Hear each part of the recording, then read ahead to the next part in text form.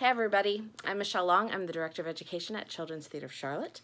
And we're starting a new series today that's called Meet a New Script. This particular script, I'm going to put my glasses on so I get this right, is Trixie True Teen Detective, and it's book, music, and lyrics by Kelly Hamilton. So that's a huge deal that she wrote all of those because that's not easy to do. And we always want to acknowledge our playwrights, our composers, and our uh, lyricists because they are amazingly talented people and we wouldn't have theater to do if they didn't write it. So we always want to make sure that we are acknowledging them. So Kelly Hamilton wrote Trixie True Teen Detective. And this is a show I saw years ago. Uh, the reason that I love this show is because it is a spoof of the Nancy Drew Mystery Series, and I'm a huge Nancy Drew fan.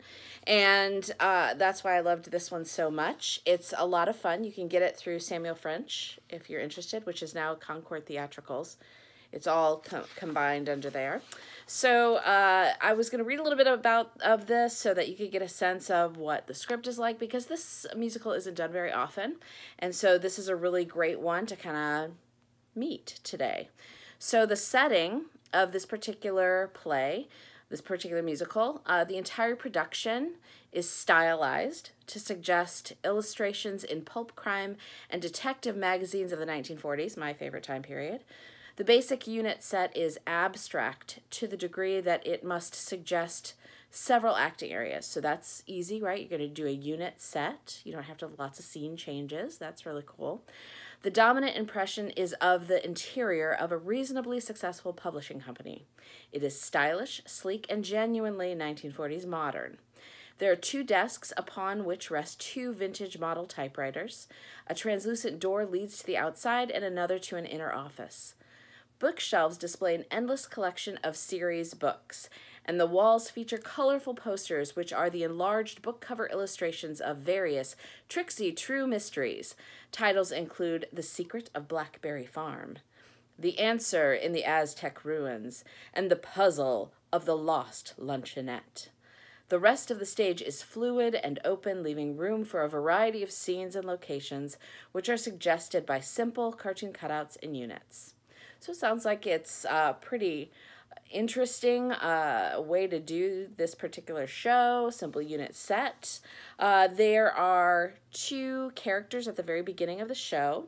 It's Joe and Al, and they're actually the writers of the Trixie True Teen Detective series. They're a little cynical. They're tired of writing about this 18 year old detective, but it's been such a hit, they have to keep writing it because that's how they're paying the bills. So at the very beginning, they start to write about Trixie True and this new book that's going to come out, this next book that's going to come out, right? So they say, So what's one mystery more? Joe says, Here she is, boys. Here she is, world. Cute, perky, and permanently 18. As if created by the typing, Trixie True emerges. She's a pretty girl of 18 wearing a smartly tailored blue dress and carrying a large flashlight and magnifying glass. Trixie singing brightly. Big time hoods and counterfeiters, small time bandits, remember, all ain't gold that glitters. Upstage, three giant sized book cover posters appear, each featuring an illustration of a crook who comes to life, the riddle of Rustler's Ranch the presence in the pyramid, the jinx of the jade vase. The three crooks step out of their posters, alarmed at Trixie's challenge to the underworld, and sing, Better leave town without a trace. Trixie sings, Petty thieves, embezzling bookies, don't get caught with your hand in the cookies. Trixie's on the case. Ooh, Trixie's on the case. In your dens of base corruption, lurk and scheme, but there's gonna be an interruption. The crook sings, Soon shall find your hiding place. But Trixie sings, Goodbye, Mr. Crime and Misdemeanor. The underworld will soon be cleaner. Trixie's on the case. Ooh, Trixie's on the case. Trixie continues sleuthing after the crooks, peeling footprints off the ground. I love that part. Joe and Al start to sing. So then you've got this kind of juxtaposition between the people that are writing it and also what's happening in the book that they're writing, which is kind of fun. Go, Trixie True, tracking down a clue, trucking on down the avenue. Try to get away, but nobody gets away from Trixie True.